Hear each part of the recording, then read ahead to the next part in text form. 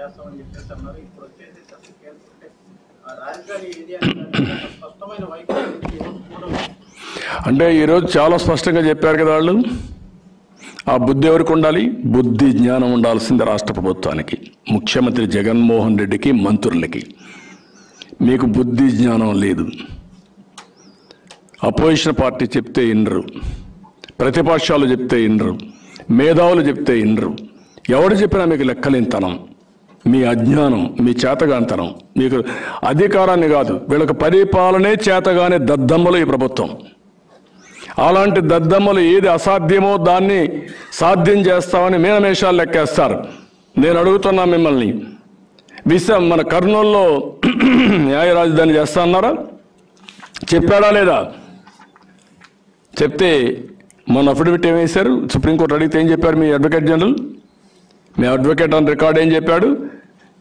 మాకు హైకోర్టుని మార్చే ఆలోచనే లేదు. ఇది మా పరిధిలో రాదు. కాబట్టి మేము మార్చడం లేదు. కడాన జ్యుడిషియల్ అకాడమీ కర్నూలులో ఉంటే దాన్ని కూడా ఇక్కడ తీసుకొచ్చి సాక్షాత్తు సీజేఐ వచ్చి ఫౌండేషన్ వేశాడు ఏమైంది అని? ఇది న్యాయ రాజధాని ఏమైంది? నేను కర్నూలుకు పోతే లాయర్లు రెచ్చగొట్టి నా మీటింగ్ మీద దాడి చేయడానికి వస్తే నేను ఆ రోజు చెప్పా మోసపోతున్నారు మీరు? వీడు అబద్ధాలు కోరు ఓసరవిల్ రాజకీయాలు చేస్తున్నాడు తప్పులు చెప్తున్నాడు నమ్మద్దని చెప్పాను. ఆ రోజు చేశారు. ఏమైంది? అయిందా? I'm asking. విశాఖపట్నంలో రాజధాని రాదని తెలియదా? ఈయనకు అధికారం లేదని తెలియదా? చట్టం లేదా? చట్ట ప్రకారం సాధ్యం కాదని తెలిసినా నాటకాలు ఆడతావా నువ్వు? విశాఖపట్నంలో ఉండే ప్రజలను మోసం చేస్తావా నువ్వు? ఏమనుకుంటున్నాను? అందుకే చెప్తాను ఆ కొండే వాళ్ళందరూ మాట్లాడతారు రాజధాని రాకపోతే మా ప్రాంతమే అభివృద్ధి కాదంట. ఆ మతం చదువుకుందారు అంటున్నారు ఏం చదువుకున్నారా మీరు?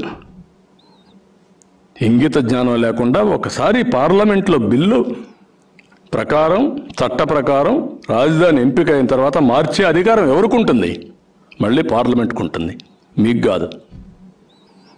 కనీసం రాజ్యాంగ స్ఫూర్తి లేదు చట్టసభల గౌరవం లేదు చట్ట చట్టం అంటే తెలియని అజ్ఞానులు ఏదంటే అది మాట్లాడతారు? ఇవన్నీ ఉన్నాయి. దీన్ని గుర్తుపెట్టుకోవాల్సిన అవసరం ఉంది.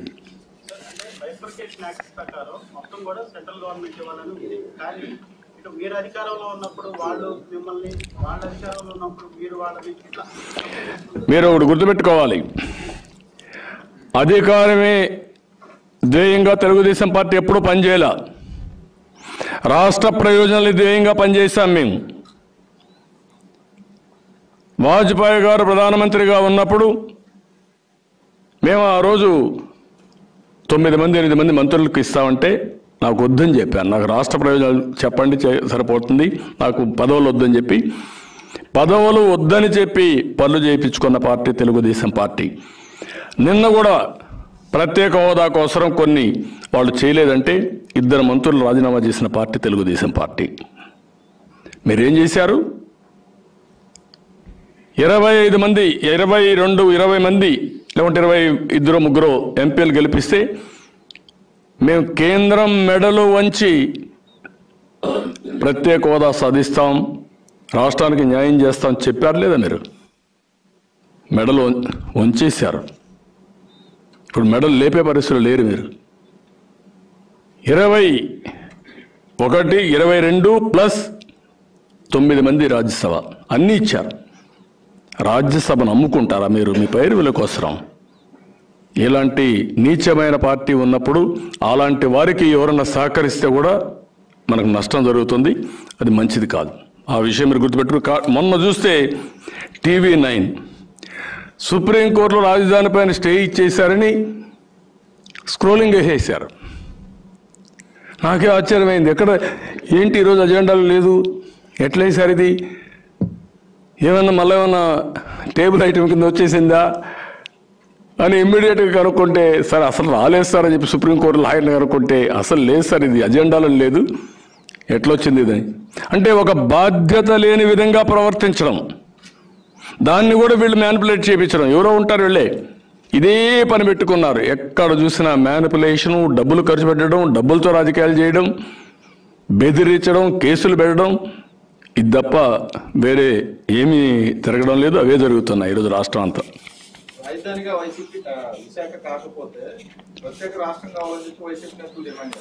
అదే మా కర్నూలు కూడా కావాలి కదా ఇప్పుడు. న్యాయ రాజధాని కాదు కాబట్టి అడుగుడు కావాలి కదా. ప్రతి ఒక్క జిల్లాకు ఒక రాష్ట్రం. వాళ్ళదేం పోయింది? ఏదైనా మాట్లాడతారు వాళ్ళ నాలుక. ఇంక దాన్ని ఏమనాలో నాకు తెలియదు కానీ అంత దరిద్రంగా తయారైపోయారు ఆ పార్టీ. అందుకే నేను చెప్పాను వాళ్ళకి రాజకీయ పార్టీగా ఉండడానికి అర్హత లేని పార్టీ ఏదైనా ఉంటే వైఎస్ఆర్ కాంగ్రెస్ పార్టీ. రాజకీయాల్లో ఉండడానికి అర్హత లేని వ్యక్తి ఎవరన్నా ఉన్నారంటే జగన్మోహన్ రెడ్డి. లోకేష్ గారి పాదయాత్ర ఎలా జరుగుతుంటారో ప్రతిరోజు అడ్డంకులు వస్తా ఉన్నాయి నిబంధనలు విరుద్ధంగా వెళ్తున్నాయని చెప్పి వైసీపీ పోలీసులు చెప్తాం ఏమి జగన్మోహన్ రెడ్డి ఏ నిబంధనల ప్రకారం వెళ్ళాడయా మీకు తెలియదా? అదే మా పాదయాత్రకు నిబంధనల? డీజీ ఇప్పుడు ఒక ఆయన నాడు great great Raghurama Reddy. The great leader. ఈయన ఆర్డర్ వేస్తాడు అక్కడ ఆఫీసర్లు ఇంప్లిమెంట్ చేస్తారు. ఇక్కడ సీతారామ సీతారామాంజనేయులు ఉన్నాడు ఆయన. గ్రేట్ ఆఫీసర్ ఇంటెలిజెన్స్ ఆయన రిపోర్ట్లు ఇస్తాడు. అందరిని చంపేస్తారా మీరు? బయట రానిరా మీరు? అందరి మీద కేసులు పెట్టేస్తారా మీరు? కబద్దారు గుర్తుపెట్టుకోండి. డే విల్ కామ్ మీరు ఎవరు కంట్రోల్ చేయలేరు. చట్ట ప్రకారం ఎవరైనా సరే ప్రశాంతంగా పాదయాత్ర చేయొచ్చు మీటింగులు పెట్టొచ్చు అన్నీ పెట్టచ్చు. ఈ రాష్ట్రంలో మీటింగులు పెట్టడానికి వీల్లేదా? ఎన్జిఓస్ని మీటింగ్లు పెట్టనిచ్చారా మీరు? రాజకీయ పార్టీలు మీటింగ్లు పెట్టనిస్తున్నారా మీరు? మీడియాని స్వేచ్ఛగా రాసే స్వేచ్ఛ ఉందా మీకు? ఉంది ఉంది. కరెక్ట్. కొన్ని మీడియాలకు బ్లూ ఏదైతే బ్లూ మీడియాకు స్వేచ్ఛ ఉంది పూర్తి స్వేచ్ఛ రెడ్ కార్పెట్. ఎవరైనా ఈ ప్రభుత్వాన్ని విమర్శించాలంటే వారికి మాత్రం ఎక్కడా స్వేచ్ఛ లేని పరిస్థితి. ఏమనాలి ఇవన్నీ? అంటే నీ ఇష్ట ప్రకారం జరుగుతుంది అనుకున్నాడు జగన్మోహన్ రెడ్డి. జగన్మోహన్ రెడ్డి నేను చాలామందిని చూశా. చాలామంది ముఖ్యమంత్రులను చూశా. కానీ ముఖ్యమంత్రి ప్రజలను చూస్తే భయపడతారు. అపోజిషన్ పార్టీ ఏదైనా మాట్లాడితే విలువిస్తారు. నీకు ఏమీ లేవు నీకు. అందుకే వివేకానంద రెడ్డి మర్డర్ కూడా వీళ్ళే చేసి ఎన్ని నాటకాలు ఆడారో మీరు చూస్తే అన్ని నాటకాలు ఆడే పరిస్థితికి వచ్చారు. ఇప్పుడు అమరావతిలో ఎన్ని కుప్పిగంతలు వేశారు వివేకానంద రెడ్డి మర్డర్లో ఎన్ని కుప్పిగంతులు వేశారో ఒక్కసారి ప్రజలు కానీ చూస్తే ఇలాంటి వాడు రాజకీయాల్లో ఉండాలన్నా వద్దని ప్రజలే నిర్ణయిస్తారు. ఒక్క వ్యక్తి కూడా ఓటు వేయడానికి అర్హత లేని వ్యక్తులు వీళ్ళు. జియో వన్ పైన స్టాండ్ ఏంటయ్యా? అసలు స్టాండ్ నేను చెప్తున్నా కదా క్లియర్గా. ఎవడయ్యా జియో వన్ దమ్మనింది? ఎందుకయ్యా జియో వన్ ఇరవై తొమ్మిది మంది చనిపోయారా విశాఖపట్నంలో కాకినాడలో? అడుగుతున్న ముఖ్యమంత్రిని. ఫ్యాక్టరీలు మూసేయి. What nonsense you are talking you are unfit to be CM I'm very clear on that law and order ప్రశాంతంగా పాదయాత్ర జరుగుతూ ఉంది ఎందుకు అడ్డం పడుతున్నారు? ఎవడిచ్చాడు నీకు అధికారం? ఎందుకు అహంకారం? ఏం తమాషాలు ఆడుతున్నారు మీరు? పద్నాలుగేళ్ళనే ముఖ్యమంత్రిగా ఉన్నా. వీళ్ళ తండ్రి పాదయాత్ర చేశాడు. ఈయన పాదయాత్ర చేశాడు. వేరే వాళ్ళు ముఖ్యమంత్రిగా ఉన్నప్పుడు వీళ్ళ చెల్లెలు చేసింది. ఇది చేశారా? ఐఎమ్ ఆస్కింగ్ ప్రజలు ఆలోచించండి. ఎవరి కోసం ఈ పాదయాత్రలు? ఏంటి వీళ్ళు చేసే పనులు? రాష్ట్రాన్ని సర్వనాశనం చేసిన అడిగితే వాళ్ళ మీద విరుచుకుపడతారా మీరు? కొవిక్కిపై ఇష్టానుసారంగా బిహేవ్ చేస్తున్నారు. ప్రజలే కోదీస్తారు కొవ్వు తీస్తారు. తమాషా కాదు. ఏంటి జీవో వన్? ఎందుకు పంపలేదు అక్కడ మనుషుల్ని? ఎందుకు పోలీసులు పెట్టలేదు? అంటే పోలీసులు పెట్టకుండా ఇష్టానుసారంగా మీరు చేసి సిగ్గుపడాల? మీరు లా అండ్ ఆర్డర్ మెయింటైన్ చేయలేకపోయిన దానికి. పోలీసులు కూడా చెప్తాను కొంతమంది మంచి వాళ్ళు ఉన్నారు నేను వాళ్ళు మాట్లాడాలి. వాళ్ళు కూడా సహకరించడం ఈరోజు కూడా అక్కడ పాపం ఆ టెన్షన్ భరించిన ఒక కానిస్టేబుల్ చనిపోయాడు. పైన నుంచి ఆర్డర్లు. వాళ్ళు మీటింగ్ పెట్టారు మీటింగ్కి వెళ్తున్నారు. ఎస్పీ డిఎస్పీ చెప్పాడు పలానా దగ్గర పెట్టుకోమన్నాడు. పైనుంచి ఫోన్ పెట్టడానికి వీల్లేదు తీసేయండి. వచ్చి మైకులు లాగేశారు. వాట్ ఇస్ దిస్ ఒకటే చెప్తాను ఇవన్నీ రికార్డులు ఉంటాయి తమాషా అనుకోవద్దండి. నేను చాలామందిని చూశాను పోలీసులను చూశాను ముఖ్యమంత్రులను చూశాను ఇంకా చాలామందిని చూశాను. ఇవన్నీ తాత్కాలికం. టెయింటెడ్ పోలీస్ ఆఫీసర్లను హెచ్చరిస్తున్నా. మంచి వాళ్ళని సమర్థిస్తున్నా అప్రిషియేట్ చేస్తున్నా. మీరు వాళ్ళ ట్రాప్లో పడద్దండి. మొన్న కూడా కానిస్టేబుల్ అరెస్ట్ చేస్తే ఆ కానిస్టేబుల్ కాపాడిన పార్టీ తెలుగుదేశం పార్టీ. మా పార్టీ కాదు అది. ఒక పోలీస్ కానిస్టేబుల్ ఎమోషన్లో ఒక మాట మాట్లాడితే అరెస్ట్ చేస్తారా మీరు? స్వేచ్ఛ లేదా వాళ్ళకు? ఎంత ఫ్రస్ట్రేషన్లో ఉంటే మాట్లాడతానో అర్థం చేసుకోవాలి మనం.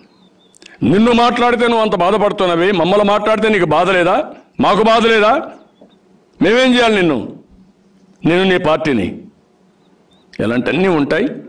నేను ఐఎమ్ వెరీ క్లియర్ ఇవి తాత్కాలికం ఇవి జరగవు జరగనీయం. ఎన్ని ఇబ్బందులు పెడతావు నేను కూడా చూస్తాను మళ్ళా ఈ రాష్ట్రంలో కూడా తిరగలేరు గుర్తుపెట్టుకోండి మీరంతా. ఆ విషయం మీరు గుర్తుపెట్టుకోవాల్సిన ఈ రాష్ట్రంలో కూడా రోడ్డు మీద కూడా రాలేరు. ఇంటి ఏదో పనులు చేస్తే. ప్రజలే చూసుకుంటారు మిమ్మల్ని.